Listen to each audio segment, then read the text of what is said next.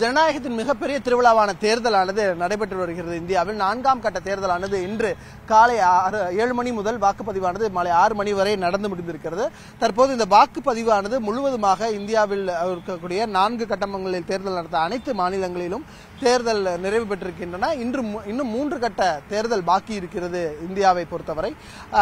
ஒட்டுமொத்தமாக தேர்தல் வாக்குப்பதிவு ஜூன் ஒன்றாம் தேதியுடன் நிறைவடைந்து ஜூன் நான்காம் தேதி தேர்தல் முடிவுகள் அறிவிக்கப்பட இருக்கின்றன. தற்போது நம் தெலுங்கானாவில் இருக்கிறோம். தெலுங்கானாவில் வாக்குப்பதிவு முடிவடைந்து இந்த வாக்கு செலுத்தக்கூடிய இடங்களில் பூ- பூட்டு போடப்பட்டிருக்கிறது. இதற்கு பின் வரக்கூடிய வாக்காளர்கள் அனுமதிக்கப்பட மாட்டார்கள் என்பதே தேர்தல் ஆணையத்தின் அறிவுரையாக இருக்கிறது.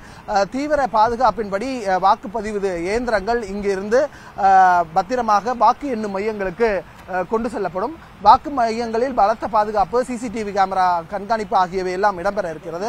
ஒட்டுமொத்தமாக பார்த்தோம் என்றால் ஐந்து மணி நிலவரப்படி இந்த வாக்கு எண்ணிக்கையானது அறுபத்தி ரெண்டு சதவீதமாக இருக்கிறது. அறுபத்தி ரெண்டு சதவீதம் வாக்கு பதிவாகி இருக்கிறது இந்தியா முழுவதும். தெலுங்கானாவை பொறுத்தவரை அறுபத்தி ஒன்று புள்ளி ஒன்று ஆறு சதவீதம் ஐந்து மணி நிலவரப்படி பதிவாகி இருக்கிறது. கடந்த தேர்தலில் அறுபத்தி ரெண்டு சதவீதம் மட்டுமே வாக்குப்பதிவாகி இருந்த நிலையில் இந்த இந்த ரெண்டாயிரத்தி இருபத்தி நான்காம் ஆண்டு நாடாளுமன்ற தேர்தலில் இந்த வாக்கு சதவீதம் சற்று உயரக்கூடும் என்று எதிர்பார்க்கப்படுகிறது.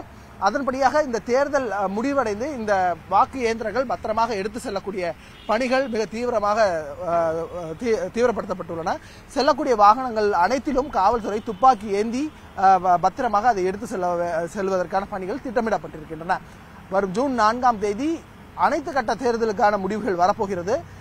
இந்தியாவில் மீண்டும் யார் ஆட்சியை அமரப்போகிறார்கள்? இந்தியாவின் அடுத்த கட்ட வளர்ச்சி எதை நோக்கி அமையப்போகிறது என்பதை உறுதி செய்யும் ஒரு நாளாக ஜூன் நான்கு அமைந்திருக்கிறது.